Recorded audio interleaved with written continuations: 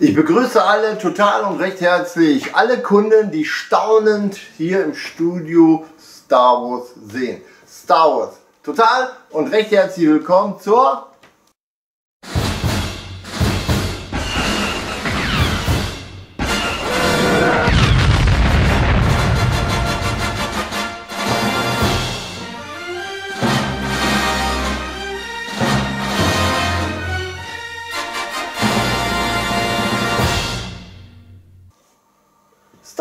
Show, richtig, willkommen total rechtlich bei der Star Wars Show in Deutsch.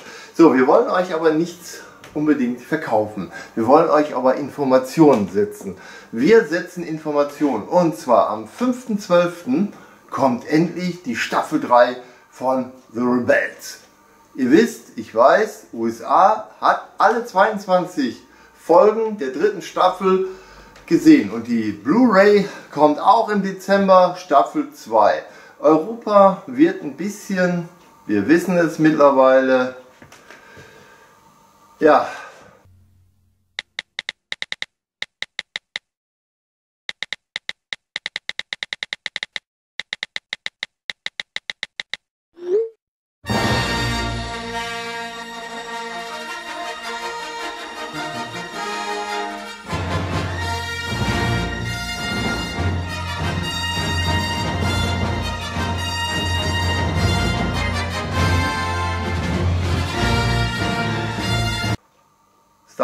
halt USA. In Star Wars USA gibt es alles. Ihr könnt es versuchen, über Brasilien die Ware zu beziehen, über Amerika die Ware zu beziehen. Schade, wir haben kein TTIP, wir haben kein CETA, wir haben kein Abkommen. Schade eigentlich. Für uns, die Star Wars Involvierten, wir, die mit Star Wars groß geworden sind, wir, die Star Wars mögen, wir auf Ne? Bei Facebook zum Beispiel, die Begeisterten, 100% Film, Foto, Film, Theater, Begeisterten, ja, sind ein bisschen knurrig, weil Amerika hat alles und wir haben nichts. Ja, wir haben Kylo, wir haben Kylo Rain, ist klar, aber heute geht es darum, die neuen Sachen sind eingetroffen, viele haben ja schon, viele wissen ja auch darüber Bescheid und viele wissen natürlich nicht darüber Bescheid. Und diesbezüglich machen wir ja hier die Sendung.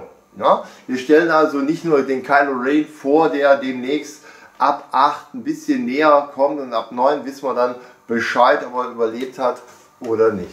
Darth Vader wird jetzt bei Rook One, da wisst ihr ja, die Figuren sind angekommen, aber ich stoppe und bleibe noch mal eben kurz bei Kylo Ren. Kylo Ren, ein Kunde hat gefragt und wir haben für den Kunden es besorgt. Kylo Ren eine wunderbare Schachtel, wunderbar verarbeitet. Äh, die Preise, Preise, die Preise sind natürlich überall zu erfahren im Internet. Wozu haben wir das? Wir wollen das einfach nur analysieren und ich muss aufpassen, weil, das, weil dieses ist schon verdammt gut verarbeitet, aber die Lichter hier blenden. So, wie gesagt, total herzlich willkommen zu Kylo Ren. Eine Sonderedition von Kylo Ren. Eine 15 cm Figur, wunderbar verarbeitet. Wir haben uns die also näher betrachtet. Der Helm von seinem Großvater aus Metall. Der Helm von seinem Großvater ist aus Metall. Sein Helm ist auch aus Metall. Passt wirklich auf die Figur. Man kann sie wirklich drauf. Man kann diese Figur wunderbar, ist jetzt natürlich hier arretiert, ist klar. So, Ausgeliefert wird dieses mit dem großen Leuchtschwert und natürlich mit dem einfachen Schwert. Es sind also zwei Schwerter in dieser Deluxe-Version drin. Dann ist natürlich die imperialistische Fahne, ist klar, erinnert uns an andere Geschichten, aber kann jeder so handhaben, wie er es möchte.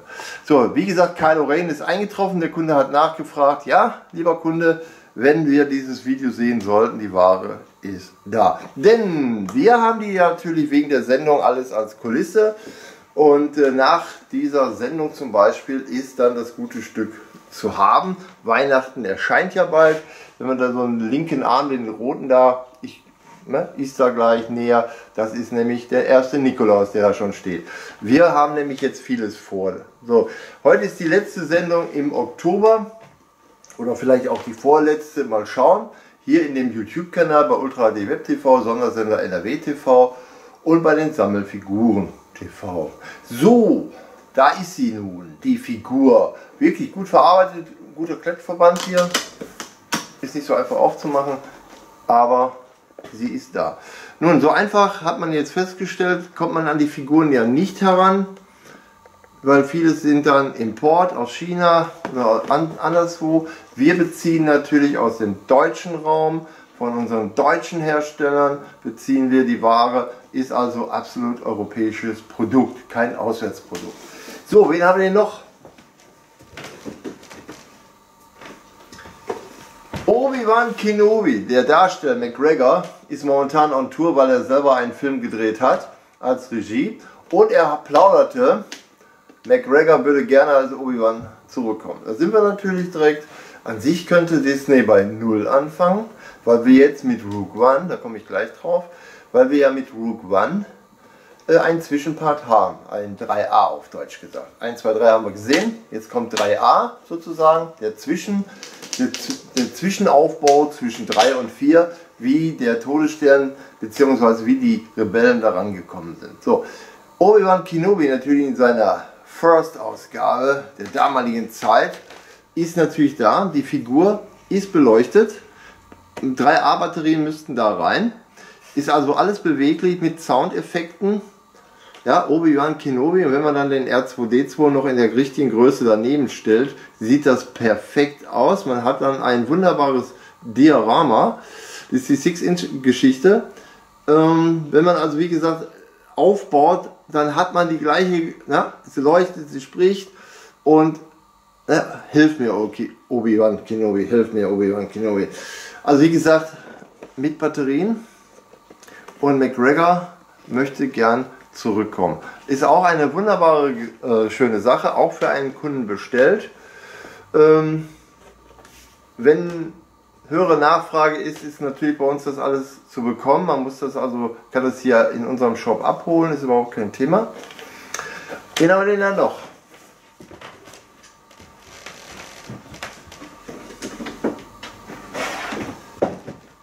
Ich sprach davon, ich sprach von Rook One. So, Rook One ist ja zwischen 1, 2 und 3, kommt dann Rook One, wie diese Darsteller jetzt hier die Pläne des Todessterns an sich reißen. Wir haben ja schon alles gesehen, wir dürfen nicht allzu viel erzählen. Die Nachdrehs, der neue Komponist, alles, alles fertig. Also am 15.12. ist das gute Stück im Kino dann zu sehen. Also wie gesagt, die Figuren werden hier auch ausgestellt. Die Figuren sind auch hier zu haben.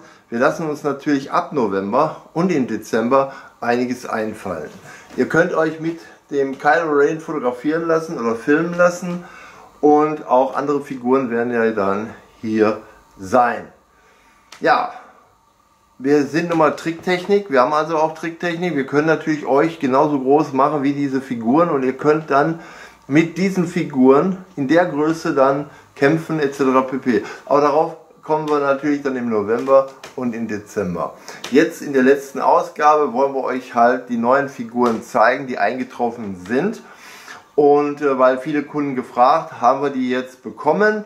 Wir haben sie also geordert. Ihr wisst, also die Eingefleischten wissen über Disney, über äh, andere Firmen beziehen. Disney ist klar, macht es zwischendurch günstiger. Wir brauchen sie halt nur für unsere Kulisse, wir brauchen sie für unsere Ausstellung, denn wir haben uns nämlich alle besorgt. Wir haben jetzt alle, wir haben jetzt alle Disney-Figuren, ein paar fehlen noch, aber ähm, der größte Teil ist gekommen, ist erschienen.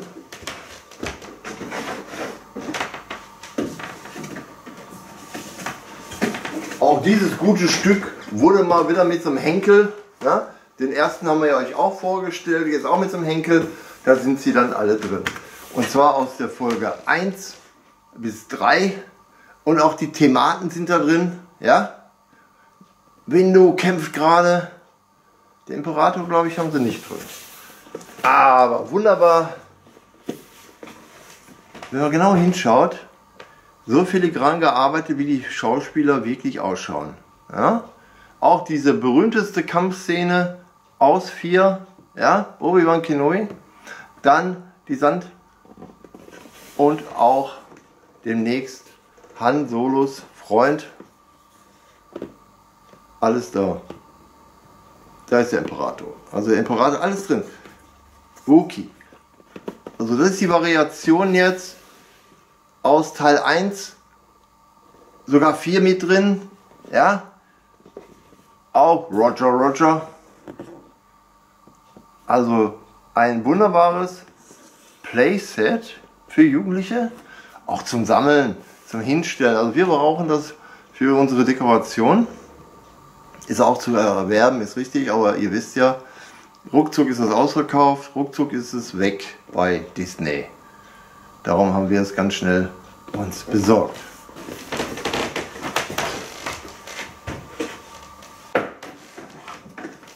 So, das war die andere, auch mit dem Griff ja, zum Mitnehmen. So, da waren die anderen Jabba ist dabei, in Carbonit eingeschweißt, unser Han Solo. Lea da in ihrem berühmtesten Kostüm. Hm, einige sind natürlich doppelt, aber ist euch vorhin aufgefallen? Ist euch vorhin aufgefallen? Nein, ist es nicht. Ja, da ist er nämlich. R2D2 mit seinem roten Arm. Teil 7 mit Kylo Ren war er ja mit dem roten Arm. Viele fragen sich, wieso hatte er einen roten Arm? Gut, da gibt es nämlich eine sogenannte Geschichte zu. R2D2 gibt es eine Zeichentrick bzw. ein Comic. Es gibt einen Comic mit R2D2 und da wird erklärt, dass eine sogenannte Schlingpflanze ihn seinen Arm abgerissen hat. Jetzt sucht er in seinen Arm und in 8 und 9 wollen wir hoffen, dass er ihn wiedergefunden hat. Ansonsten hat er den Arm 3, nämlich den roten. Weil wir wissen ja, R2D2 war sehr oft in den Folgen auseinandergenommen worden oder hatte den Kopf auf einen Roboter dort und so weiter. Also mit R2D2 ist ja vieles schon mal geschehen. Also wie gesagt, das ist die zweite Ausgabe. Zusammen, uah, zusammen sehen die dann so aus. Ne? Also sind alle drin, sind also alle Figuren drin. Somit hat man fast die gesamte Geschichte und man kann die gesamte Geschichte für die, die Diaramen bauen, wunderbar verwenden. Das einfache Playset hat Disney, Disney auch reduziert, das ist das einfache.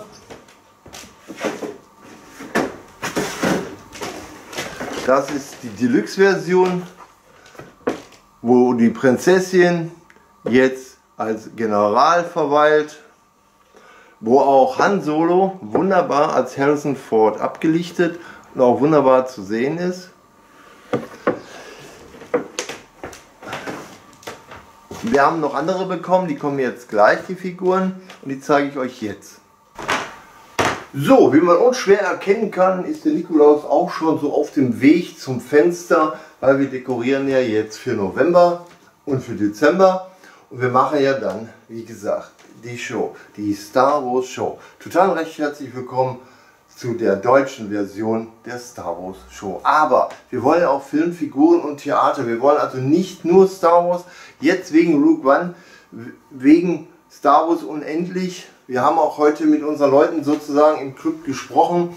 Was haltet ihr davon, wenn wir bei Null anfangen? Also vor der Geschichte. Vor Obi-Wan Kenobi und Qui-Gon Jinn zum Beispiel und natürlich das Maul. Es müssen natürlich nicht unbedingt die, aber es könnte ja bei 0 beginnen. Wir könnten ja auch bei hier Reven anfangen in Old Republic und dann so langsam auf die 1 gehen. Wir könnten also bei 0 anfangen. Wäre eine tolle Geschichte, wenn Disney Lust hat. J.J. Abrams hat Lust. J.J. Abrams hat sich ja sowieso nicht dran gehalten. Bei 7, bei 7 da schwirren ja die Geister es gibt ja sogar Witz, es gibt ja im Internet so Witzseiten, müsst ihr darauf achten. 24 sowieso nett, das ist keine journalistische Seite, das ist eine Witzseite und in dieser Witzseite wird natürlich darauf hingewiesen, dass ähm, 7 abgesetzt würde oder dass J.J. Abrams überfallen oder J.J. Abrams. Nee, nee, ist alles in Ordnung. J.J. Abrams hat seine 50 Jahre gefeiert. J.J. Abrams ist 50 geworden und sein Film Star Trek, der im Sommer gelaufen ist, kommt natürlich jetzt auch im Dezember raus. Dann sind wir auch schon wieder beim Kernthema. 5.12. geht es los und dann fangen wir auch mit der Show so richtig an, weil wir dann die Rebels haben. Wir haben dann die Rebels zweiter Teil auf Blu-ray. Hier in Deutschland sehen wir leider nur die nur elf Folgen. Ja, bei Disney XD und nachher im Disney Channel kann man dann Rebels sehen und später, wenn wir Glück haben, ziemlich früh, ansonsten auch wieder erst im Dezember 2017 äh, Rebels Staffel 3 und dann läuft in Amerika schon, wenn wir Pech haben, Staffel 4. Vielleicht können wir ja mal den großen Aufruf an Disney wagen. Lieber Disney, was haltet ihr von Europa? Äh, macht doch auch Europa gleichzeitig, nicht nur in Amerika, auch die Figuren unheimlich schwer an diese Figuren zu kommen. Ähm, ja, welche Figur war neu? Hatte ich gerade gestoppt. Heute auch mal wieder eingetroffen nach langer Zeit diese Variation des Scout-Jägers ist auch die Black Serie auch im Original, deutsche Variation bzw. europäische, kein Import, auch Han Solo. Auch Han Solo in seinen Tantan ist da, was steht hier? Ja, wie immer, ab drei Jahre, vier Jahre nicht. Erst ab neun Jahren empfehlen wir alle Figuren. Alles was drunter ist, wegen Schluckgefahr, und Weichmacher da drin sollten Kinder ab drei, vier Jahren diese Figuren nicht erhalten. So, wie gesagt, äh, wenn die weihnachtliche Geschichte losgeht, wenn der Weihnachtsmann erscheint im Darth Vader Kostüm äh, oder Kylo Ren Kostüm, mal schauen, welcher Darsteller sich bereit erklärt, zu Weihnachten hier aufzutreten, um, um dann auch mitzumachen. Ihr könnt, wie gesagt, neben der Figur, mit der Figur. Ihr könnt auch selber euch fotografieren lassen im Green Room. Wir haben ab Weihnachten Special Effects hier, nicht nur die Figuren. Wir können also euch so klein machen wie diese Figuren und ihr könnt dann in der Größe, ja, ihr könnt dann halt in diese Geschichte mit eingearbeitet werden. Wie das funktioniert, sprechen wir noch drüber. Heute wollten wir halt die neuen Figuren zeigen. Wie gesagt, Kylo Ren mit wirklich metallischem Kopf, mit seiner metallischen Maske. Ja, ist ziemlich schwer, ist, liegt also auch gut in der Hand. Sein Großvater sozusagen. Das waren natürlich die Sachen für ein Diorama. Das hier ist auch für ein Diorama. Ist wie gesagt wunderbar verarbeitet. Und für die Sammler sowieso ein Herzstück. Sammler, die haben solche Figuren schon längst im Regal stehen. Ja, das war es an sich auch schon. Das sollte auch nur ein minimaler Highlight sein. Wir wollten auch wieder darauf verweisen, dass neue Sachen eingetroffen sind und wir wollen darauf hinweisen, dass wir, wie gesagt, in den YouTube-Kanal Ultra D Web TV, Sondersender NRW TV, dass wir halt dieses Film, Figuren und Theater ins Leben gerufen haben im Jahre 2012. So, seit 2012, wie wir dann, beziehungsweise vorher, wie wir gehört haben, dass das weder wohl nicht mehr erscheinen möge, weil verkauft vergessen wir alles. Jetzt sind wir ja bei Rogue One, wir sind bei Rebels, wir sind jetzt bei den Neuerscheinungen.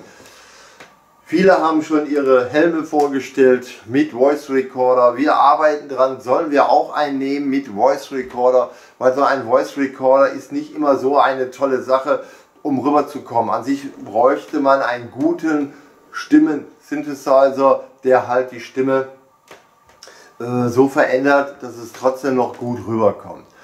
Wir werden halt auch die Helme besorgen, wir, die sind gerade frisch lieferbar, werden wir also ordern und dann werden wir natürlich auch hier mit einem Star Trooper Helm mit Voice Control äh, auftreten und fragen, ob gut oder nicht gut. Wir werden auch den Kylo Ren Helm nochmals näher betrachten äh, und fragen, gut oder nicht gut. Ähm, da wir ja ähm, das nicht als Fan betreiben. Wir sind keine Fans, wir arbeiten und seit, wenn man 40 Jahre gearbeitet hat äh, für Star Wars in der deutschen Promotion, in der europäischen Promotion, auch in London am Piccadilly im, im damaligen Sega-Haus, äh, sieht natürlich alles ganz anders aus. Wie gesagt, ihr seid hier in einem Studio, in einem begehbaren Studio. Ich sage zu meinem Kunden immer, ihr seid in einem Smartphone. Hier in einem Smartphone könnt ihr alles das machen, was in einem Smartphone alles funktioniert. Ich bin also euer Android und ich helfe euch äh, bei der Auswahl der Figuren, besorge euch die Figur, wir sprechen darüber und die anderen Sachen im Medienhaus und im Copyhaus, sagt das Wort, Kopien aller Art, Filme aller Art, Fotos aller Art, Figuren aller Art, ist ja alles hier in diesem sogenannten Star Wars Filmclub, alles mit eingearbeitet. Aber man ist halt als Kunde auch hier mittendrin, kann mittendrin agieren, kann mittendrin hier arbeiten und Weihnachten. Weihnachten. Wir wollen uns Weihnachten nicht vermiesen lassen. Wir wollen äh, Weihnachten genauso starten und genauso zelebrieren und genauso mit umgehen, wie wir es immer gemacht haben. Und äh, wir haben jetzt halt auf Star Wars uns äh, manifestiert, weil Star Wars in die Unendlichkeit geht.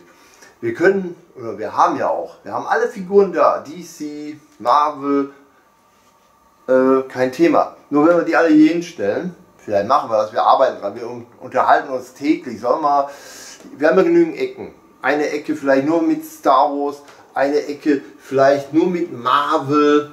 Ich habe sehr viele Kunden, die reinkommen und sagen, Dead Man Walking, hm, Dead Man Walking. Also wenn ich jeden Tag mir die Deadmans angucke, halbtote Zombies und äh, ich weiß nicht. Ich muss 10 Stunden, also wenn ich jetzt 10 Stunden mir die hier anschaue, mit, hm, dann, ja, aber wenn jetzt so halbtote, so Zombies, Leichenteile da, hm, ist so eine Sache. Ne? Vielleicht. So viele haben gefragt, was ist denn das? Ja, was ist denn das?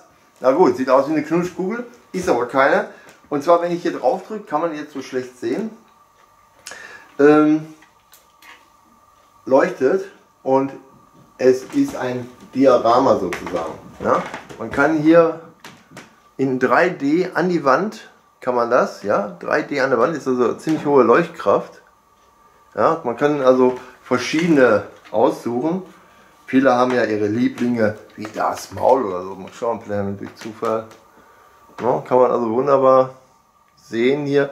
Und dann in einem dunklen Raum sieht nicht schlecht aus. Ist auch so eine schöne weihnachtliche Geschichte. Also unsere, unser Weihnachten ist halt ein Star Wars Weihnachten. Wir haben einen Star Wars Tannenbaum, werdet ihr dann auch im Schaufenster sehen. Momentan ist nicht alles lieferbar. Erst so im November, Dezember ist das lieferbar. Und äh, Weihnachten sollte auch an sich erst im November, Dezember ausbrechen. Wir dekorieren an sich immer erst am 24. November bis zum 24. Dezember, einen vollen Monat mit weihnachtlichem Ambiente im Schaufenster, aber im Star Wars Modus. Ja, das haben wir vor, das wollen wir machen. Und äh, wie gesagt, es wächst ja auch ganz langsam und deswegen ist auch die Show, ziehen wir auch ganz langsam und zeigen auch ganz langsam die gesamten Figuren. Wir sind natürlich stolz drauf, dass wir wieder tolle Figuren bekommen haben. Äh, über den Preis können wir natürlich reden. Auch wir verkaufen die nachher, nach der Show. Wir brauchen die, also wir kaufen die und brauchen die für die Show und für, für so eine kleine Ausstellung. Wir wollen so eine kleine Jahresausstellung, deswegen haben wir ja auch alle Figuren bei Walt Disney äh, gekauft, um damit arbeiten zu können. Wir können die natürlich auch von Hasbro besorgen und von Bandai, also ist schon machbar. Aber die meisten kaufen ja eh im Internet.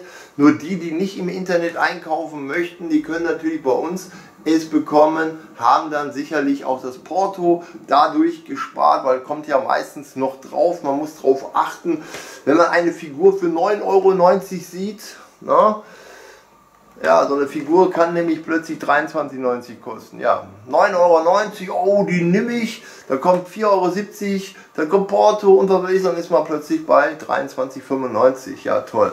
Ne? Ja, dann kann man die direkt in die Ecke stellen.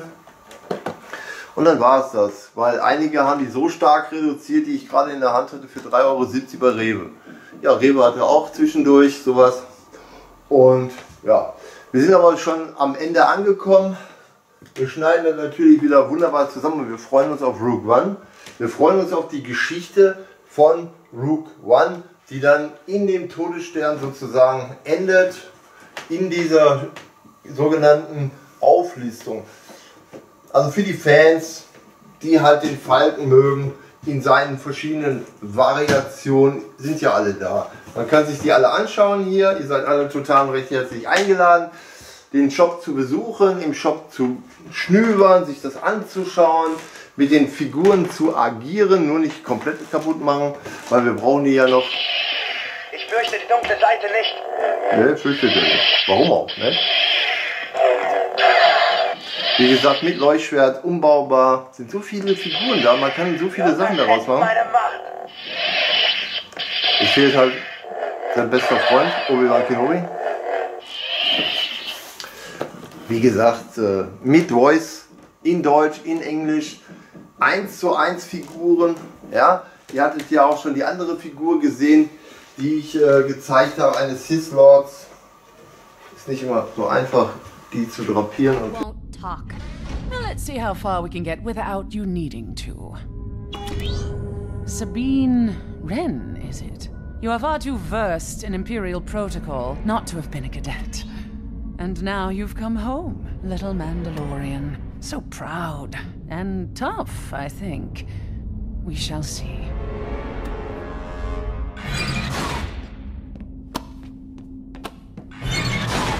We have to do something. And end up like Rake?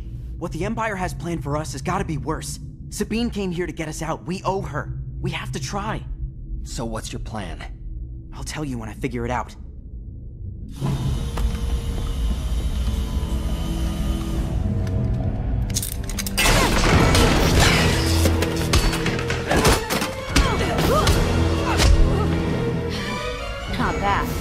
The Empire taught me well.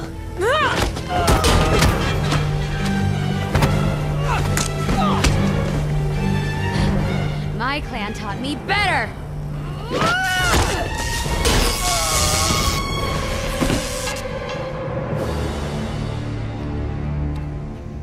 Wie gesagt, ihr könnt mit euren Sith Lords fotografiert werden, gefilmt werden. Wir können euch so dermaßen reduzieren, dass ihr wirklich in so eine Schachtel passt. Wunderschöne Fotoarbeiten wollen wir euch anbieten. Euch die Sendung anbieten, die Show anbieten und halt auch den Shop. Ihr könnt ins Studio kommen, ihr könnt hier mit bei sein, ihr könnt bei den Dreharbeiten da sein. Ihr seid Cosplayer. Wenn ihr Cosplayer seid, seid ihr auch total eingeladen. Wir können eine wunderbare Sendung machen, denn das ist Fernsehen für euch. Wir machen jetzt das ARD ZDF, das neue, seit dem 1.10.2016 on air, weil das Fernsehen erfindet sich neu. Heute waren viele ältere Herrschaften da, die sich erschrocken haben, dass sie nächstes Jahr kein Fernsehen mehr sehen, weil sie ja DVB-T 2 brauchen oder halt HD jetzt schon und die Karte, um halt RTL und Co. in HD sehen zu können. Man muss den Leuten das nur erklären. Ja, wie gesagt, wenn wir Glück haben, sehen wir auch alle Sith Lords bei Rebels. Am 5.12. kommt es. Ja, dritte Staffel. Wenn wir Glück haben, kriegen wir die zweite Staffel. Und wenn ich Glück habe, kriegt ihr den jetzt hier auch rein. Seine Jungfern. Ja, wunderbar. Da ist er wieder. So, mein Lord. So. Ist immer so eine Sache mit den Figuren. Also, total und recht herzlich willkommen auch zu Star Wars. Er spricht nicht. Das sind die 30 cm Figuren, die wir da haben. Wir wollen also eine kleine Show machen.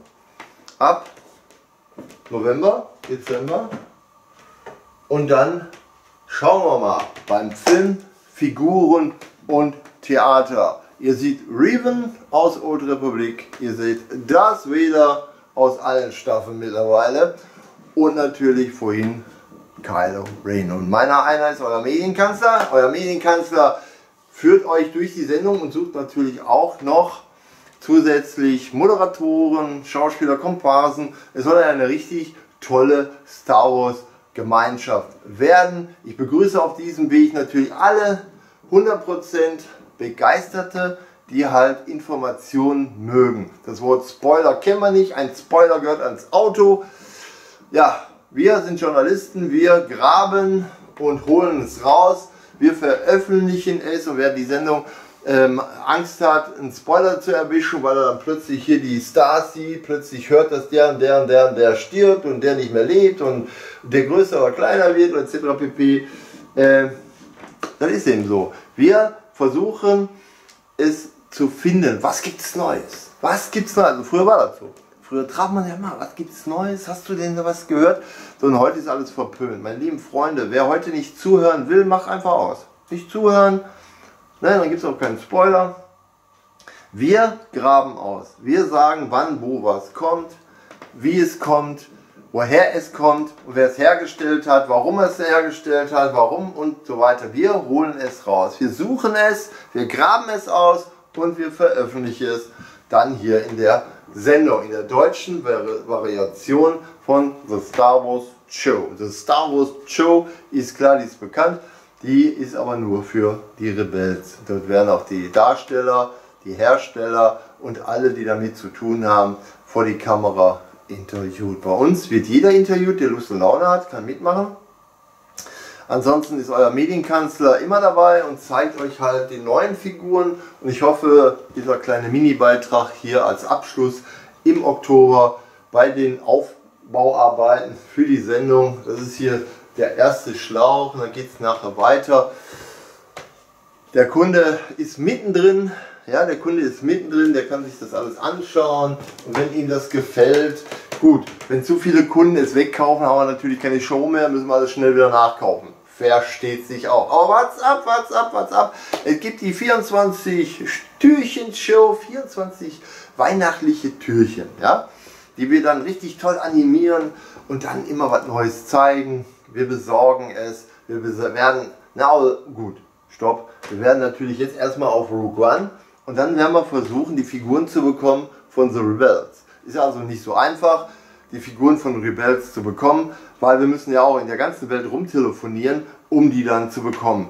Äh, aber dann wäre es ein Import, einer mag keinen Import, der eine möchte 3 Inch haben, 3,75, der andere ne, 15 cm. Und noch einmal, wir haben uns auf die etwas größeren Figuren spezialisiert, weil macht mehr Sinn. Wenn wir schon eine Show machen und wenn wir da irgendetwas auf den Weg bringen, dann natürlich mit den großen Figuren. Ja? Aber trotzdem, wie gesagt, wir können euch verkleinern. Dafür haben wir noch ein Special Effect Room. Na, da könnt ihr dann drin agieren. Lasst euch überraschen. Äh, euer Medienkanzler wird damit anfangen. Er wird ziemlich klein werden und dann in verschiedenen Stories auftauchen. Also, bald ist November. Jetzt feiert ihr erstmal euer äh, na, Kostümfest. Halloween, wir feiern es nicht. Doch, einige Kunden haben gesagt, man kann so eine Maske auch zu Halloween tragen. Haben sie recht. So eine Sith Lord Maske von Wicked Armor. Nicht schlecht. Ja, aber die kosten. Also nicht vergessen, einige kosten doch, weil es sind Special Anfertigungen. Kann man also nicht immer, also sind Unikate. Man kann nicht, äh, gibt es also nicht in jedem Laden zu kaufen. So, wir haben sehr viele Unikate hier, die es nicht irgendwo zu kaufen. Die kommen wirklich frisch aus Amerika, frisch imported und stehen dann hier und schauen die Kunden an. Ja. Oder halt sind so unikat, dass es die gar nicht mehr zu kaufen gibt. Oder halt Auslaufmodelle von irgendwelchen Firmen, die die dann halt abgegeben haben und dann gibt es die halt nicht mehr. Versteht sich. Ne? Also, wie gesagt, willkommen hier bei Star Wars Show Deutsch und euer Moving Kanzler hier verabschiedet sich und wünscht euch viel Spaß bitte